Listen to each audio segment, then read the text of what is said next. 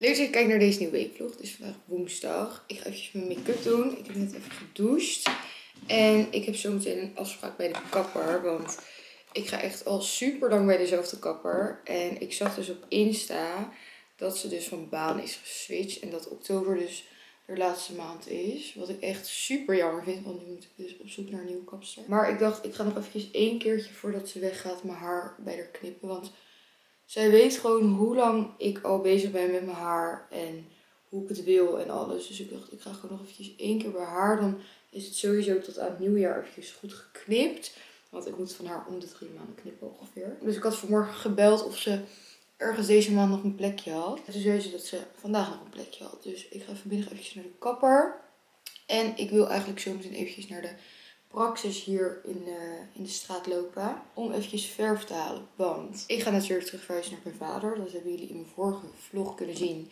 En in de aparte video.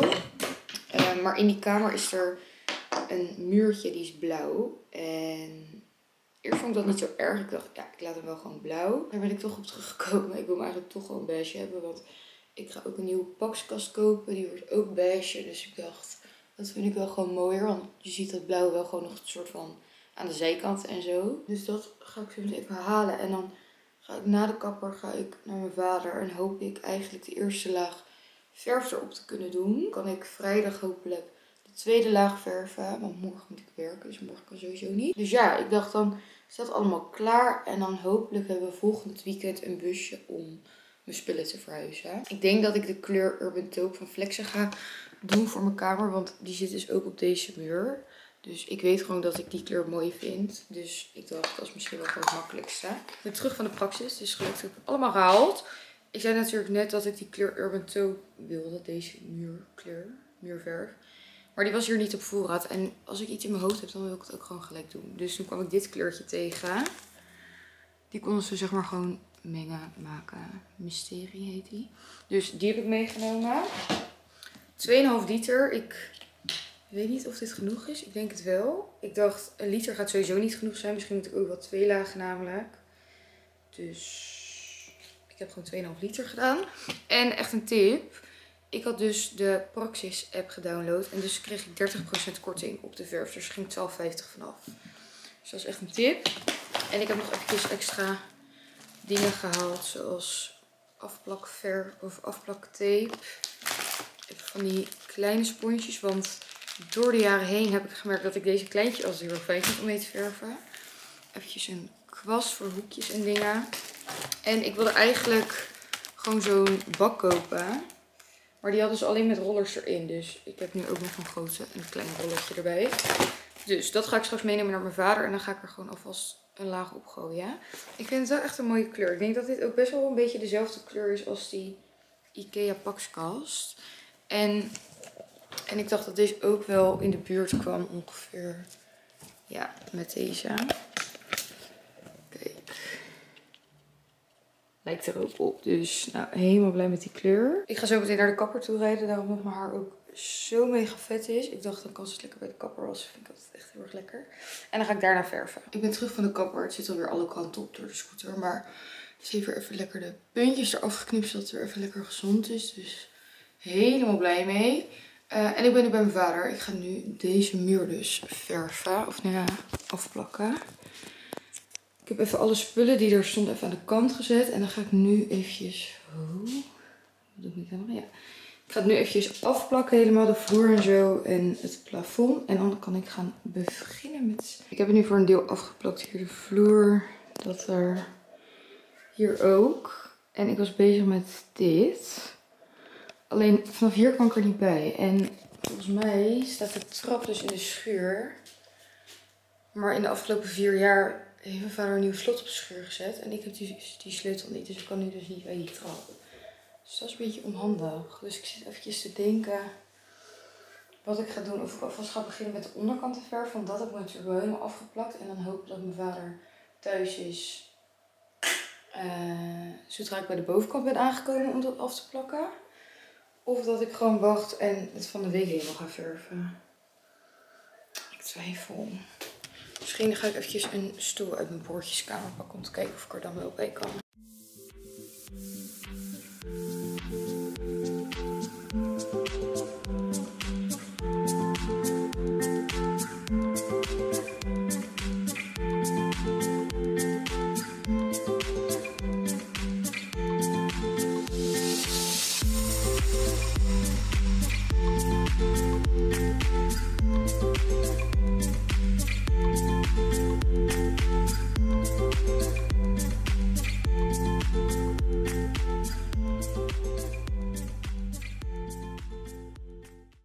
Klaar met verven.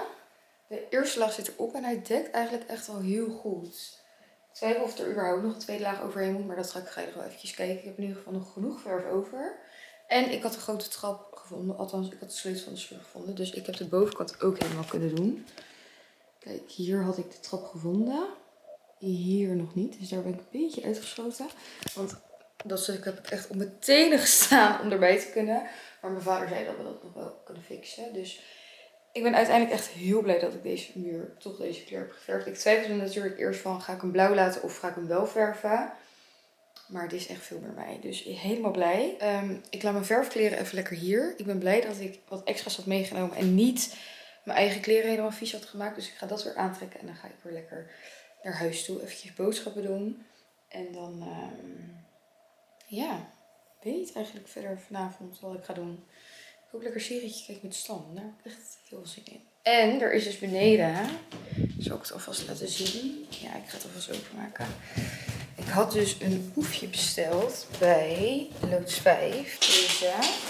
Die gaan we even meenemen naar boven en openmaken. Het is echt een troep in deze kamer. En misschien is het ook niet heel handig om nu dit open te gaan maken. Maar ik wil gewoon zien hoe het eruit ziet.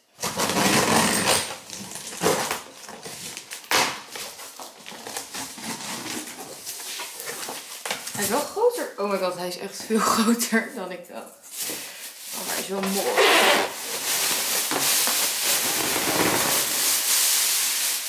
Kijk. Kijk hoe leuk. Ik vond het echt zo'n mooie kleur. Een beetje olijfgroenachtig. Op internet stond er volgens mij avocado groen. Nu vind ik dit niet helemaal avocado groen. Maar ik vind het echt zo leuk om neer te zetten in mijn kamer erbij beetje kleur erbij. En ik dacht ook, dit vind ik ook helemaal enig als ik straks met Stan samen huis heb. Dus helemaal blij ermee. Poef, ik weet niet of het ook een naam heeft. Maar in ieder geval, als je intypt bij Loos 5 poef, dan krijg je hem denk ik vanzelf wel. Ga ik helemaal buiten adem. Oké, ik ga me omkleden en dan ga ik lekker naar huis toe rijden. Het is vrijdag vandaag. Ik heb me net klaargemaakt. En ik ga me zo ook eventjes aankleden. Want ik ga zo meteen gezellig even wat foto's maken met you. Zo natuurlijk eigenlijk vorige week doen. Maar toen voelde ze zich toch niet zo lekker. Dus we gaan vandaag eventjes wat foto's maken. Maar ik werd echt wakker met een pukkel. Daar zeg je iets tegen. Ik heb geprobeerd een beetje te bedenken. Maar gisteren was ik dus werken. Toen ik thuis kwam uit werk. Waren deze twee pakketten binnen. En, en deze van mijn jewelry. En ik weet denk ik al wat hierin zit. Dat is namelijk de adventkalender. En ik ga hem eventjes openmaken. Ik twijfel een beetje of ik hem al ga openmaken of niet. Hij ziet er wel echt prachtig uit. Je hebt er dus dit jaar twee. Je er eentje van 10 dagen en eentje van 24 dagen. Dus die van 24 dagen. En ik weet dat er de afgelopen jaren echt wat ophef was over de adventkalenders van mijn jewelry. En deze keer hebben ze hem echt verbeterd. Want we verkopen deze op werk dus ook. Ik weet al wat erin zit. Um, en ze hebben er echt naar geluisterd. Ze hebben het echt zoveel verbeterd. Even openmaken. Kijk. Echt heel erg leuk. Maar ik twijfel dus een beetje of ik hem al ga openmaken. Of nog niet. Want misschien vind ik het ook wel leuk om een cadeau te geven aan iemand. Ik ben natuurlijk super blij dat ik deze van mijn jewelry heb gekregen. En ik krijg zoveel sieraden van mijn jewelry die ik echt oprecht veel draag en echt heel erg leuk vind. Maar ik vind het soms ook wel eens leuk om dingen aan andere mensen weg te geven. En ik weet gewoon dat er echt heel veel mensen zijn die zo'n adventkalender heel erg leuk zouden vinden. Dus ik ga nog even nadenken wat ik hiermee ga doen. Als ik hem wel open ga maken, zal ik dat in de volgende week nog anders wel laten zien. En dan een pakketje van Studio Amaya. Zij vroegen weer of ik wat items wilde uitzoeken van de nieuwste collectie. En dat vind ik heel erg leuk. Kopen studie aan mij ook in de winkel waar ik werk. Dus dat is gewoon super chill dat ik het ook daar kan dragen. Deze keer heb ik een heel leuk pak uitgekozen. Ik had deze dus op werk al gepast. En ik vind hem echt heel erg mooi. Het is een grijs tweedelig pak. De broek. Het is gewoon een grijze pantalon. Ik moet hem zo meteen nog wel eventjes stomen. Want ik ga deze zo meteen dus gelijk op de foto zetten jullie. Leuk. En dan echt een mega oversized blazer zit erbij. Ik hou daar wel heel erg van. Dat is deze. heel erg leuk. Ik moet alleen even kijken waar ik hem mee ga stijlen. Omdat ik natuurlijk al best wel veel kleding en tassen en dingen en zo heb ingepakt voor het verhuizen. Ik ga denk ik zo meteen ook gelijk eventjes de Ikea pakskast bestellen. Want waarschijnlijk hebben we een datum. Want waarschijnlijk hebben we een datum om een busje te huren. En wanneer Stan en mijn vader kunnen helpen. Dus dat is echt super lief. En als we dat busje hebben, gaan we dan ook gelijk mijn pakskast ophalen bij de IKEA. Dus ik denk dat ik die zo meteen gelijk eventjes ga bestellen. Ik heb de pak van Studio aan mij aangetrokken. Kijk hoe leuk dit is. Ja, ik had hem dus al in de winkel gepast. Bij ons in de winkel. Dus ik wist dat ik hem leuk zou vinden. Maar helemaal blij mee. Ik moet hem wel eventjes laten inkorten. Maar ik heb er voor nu eventjes elastiekjes gedaan. Zodat ik er niet helemaal op ga lopen. Misschien dat je een beetje herrie hoort. Maar ze zijn dus hier de balkons, balkonnen aan het verbouwen. Dus staan ook helemaal stijgers en dingen voor de deur. En allemaal herrie heel de dag door. Maar ik ben eventjes aan het wachten op het teken van You dat ze klaar is. En dan gaan we naar de stad.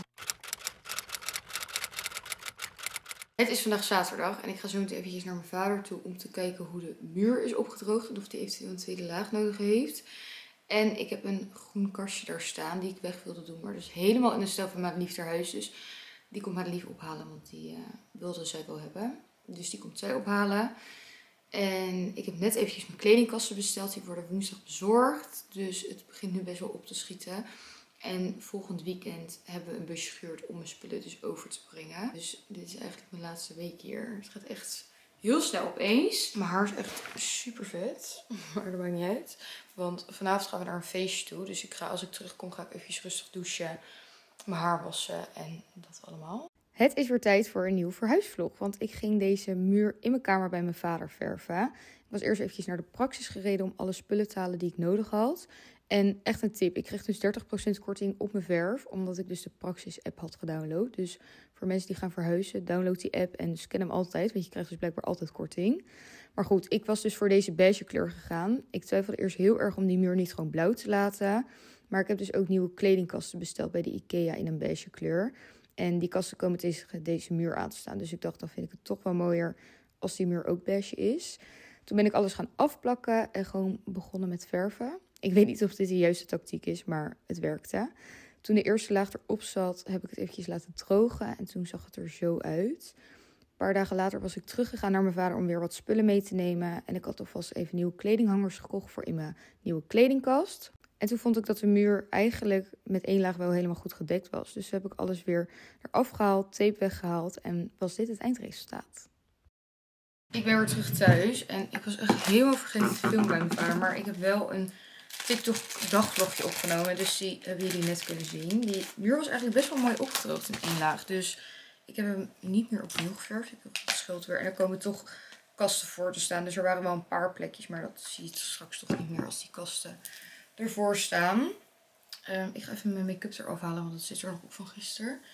En dan ga ik eventjes een masker op mijn gezicht doen. Want mijn huid die kan wel eventjes een maskertje gebruiken. En dan ga ik daarna lekker douchen. Even mijn wenkbrauwen harsen en zo. Want we hebben natuurlijk vandaag dat feestje. En ik heb echt al heel lang mijn wenkbrauwen niet gedaan.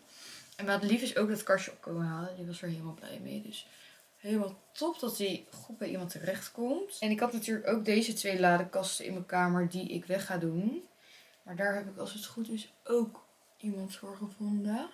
Mijn moeder die neemt er sowieso eentje. En als het goed is, wilde Rowan er ook al eentje hebben. Dus dan kan ik die mooi aan hun geven. Ik ga even dit gezichtsmasker opdoen. Deze is van Vapor. En echt, deze gebruik ik al zo lang. En is zo mega fijn. Altijd als ik deze op heb gehad, dan is mijn huid helemaal, helemaal mooi. Laatst had Stan hem ook op gehad. En die zei toen ook, die dacht erna van, zo, mijn huid is echt, uh, echt mooi. Dus, nou, masker op mijn gezicht. Ik ben ook zo bleek. Ik moet ook echt even nieuwe zelfbruin druppels gaan bestellen. Want ik wil eigenlijk iets minder onder... Nou, niet dat ik vaak onder de zonnebank ging. Maar in de winter ging ik af en toe nog wel eens. Omdat ik dan dacht, ik ben zo bleek, ik heb dit echt nodig. Maar eigenlijk wil ik dat ook minderen. Want het is gewoon echt oprecht heel slecht. En af en toe een keertje kan echt wel. Maar eigenlijk zou ik het liefst nu ook willen. Maar ja, dan wil ik natuurlijk volgende week ook weer. En die week daarna ook weer. Dus ik moet echt even zelf gebruiken. Oh, ik heb die Drink Elephant druppels nog. Die kan ik straks wel even opdoen. Maar laat eventjes weten of jullie nog goede... Ehm, oh, dit is trouwens zo niet handig. Ik heb een trui... Nou ja, ik haal dat masker er wel eerst af voordat ik ga. Maar laat eventjes weten of jullie nog goede zelfbruiners weten voor je gezicht. Ik heb een keer die van Roken Brun gehad volgens mij. Maar die was voor mijn lichaam en niet voor mijn gezicht. Dus ik weet niet hoe die voor je gezicht zijn. Of rockbrun, ik weet niet hoe je het uitspreekt. Dit ga ik eventjes een kwartiertje laten intrekken. Misschien langer, want mijn gezicht heeft echt nodig. Het is vandaag maandag en ik ga hem eventjes klaarmaken. Ze zijn hier dus nog steeds balkons aan het renoveren. Dus af en toe komt er echt super hard geboord. Dus ik hoop dat ze nu heel even stil zijn. Het is vandaag maandag en deze week vlog is echt een beetje chaotisch. Volgens mij heb ik dinsdag wat dingetjes gefilmd. Vrijdag en zaterdag. Maar ook niet heel gek veel. Maar dit is mijn laatste week dat ik hier woon. Aankomende zondag ga ik natuurlijk verhuizen. Dus ik ben daar gewoon best wel veel dingetjes voor aan het doen. Um, zaterdag was ik natuurlijk even langs mijn vader gegaan. En zaterdagavond hadden wij een feestje. Dus gisteren was echt even een brakke zondagstand. En ik waren nog wel even gezellig samen naar de stad toe gegaan. Want hij wilde even naar Zara en ik wilde nog eventjes naar Sissy Boy. Dat hebben we wel gedaan, maar verder was het echt een hele chille, brakke zondag. Eventjes niet zo heel veel gefilmd, maar goed. Ik ga een paar dagen van deze week nog eventjes bij de vlog plakken omdat ik denk dat dat wel leuk is. Vandaag ben ik lekker een dag thuis. Ik ga zo meteen weer eventjes wat spullen uitzoeken voor het verhuizen. Er staan namelijk in die kledingkast echt mega veel schoenendoos van mij. En ik denk dat eigenlijk meer dan de helft wel daarvan weg kan. En ik wil eigenlijk ook eventjes bij de HEMA nog wat verhuisdozen halen. Ik weet niet of jullie deze herrie op de achtergrond horen, maar dit is dus echt heel zacht hoor. Maar goed, hier bovenop deze kast staan de schoenendozen. En daar staan ook nog dozen. Dus die ga ik eventjes uitzoeken. Zodat al mijn spullen en al mijn dozen in ieder geval weg zijn gegooid. Um, maar hier moet ik even een stoel pakken. Anders kan ik er niet bij.